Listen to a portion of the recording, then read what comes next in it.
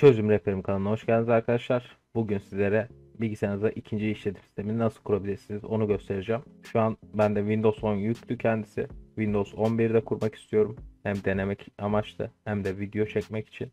Daha öncesinde Windows 11 için USB nasıl hazırlarsınız, ISO'sunu nasıl indirebilirsiniz onların videosunu çekmiştim arkadaşlar. Sizler de sağ üstten ulaşabilirsiniz öyle bir sıkıntınız varsa.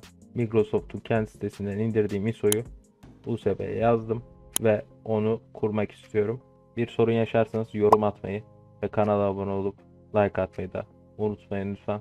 Videomuza geçelim.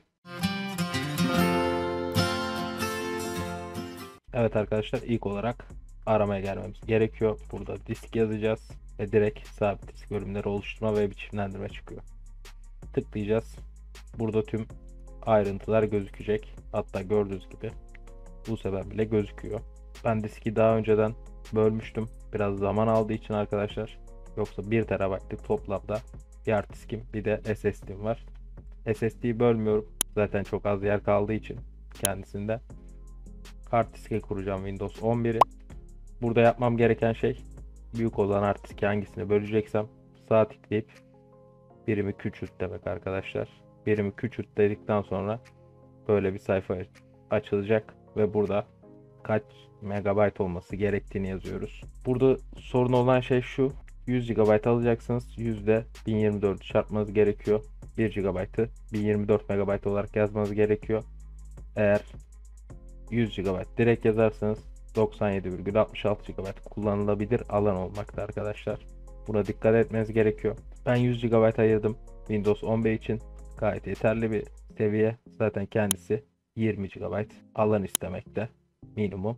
Diski böldük. En son öyle ayrılmamış alan olarak gelecek. Bu kesinlikle şu an kullanılmıyor. Onu da tanıtmamız lazım bilgisayara. Onu da sağ yaparak yeni basit birime tıklıyoruz.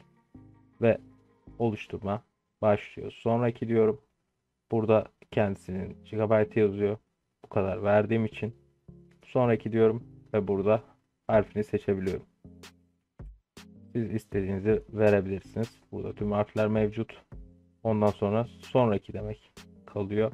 Burada da ellemem gereken bir şey yok. Burada baktığımız zaman sorun yok arkadaşlar. Son diyoruz ve bilgisayar artık yeni birim F'yi tanıyor. Onu da şöyle bilgisayarımı açarak kontrol edebiliriz arkadaşlar. Gördüğünüz gibi artık burada ayrı bir artık varmış gibi gözüküyor. iOS'ta boot ekranında göstermem gereken şeyler var arkadaşlar. İlk olarak USB'yi boot'ta birinci sıraya koymam gerekiyor ki setup başlasın. Evet arkadaşlar gördüğünüz gibi burada USB'ye en ön sıraya aldım. İlk olarak ona bakacak. UEFI setup varsa onu çalıştıracak.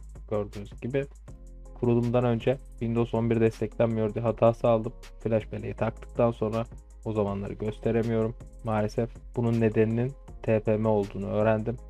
TPM'yi açma videomda kanalda mevcut. Siz de sorun yaşarsanız sağ üstten onu kontrol etmeyi unutmayın arkadaşlar. Onun yüzünden olabilir. Bilgisayarınızı desteklese bile anakarttan onu aktif etmeniz gerekiyor.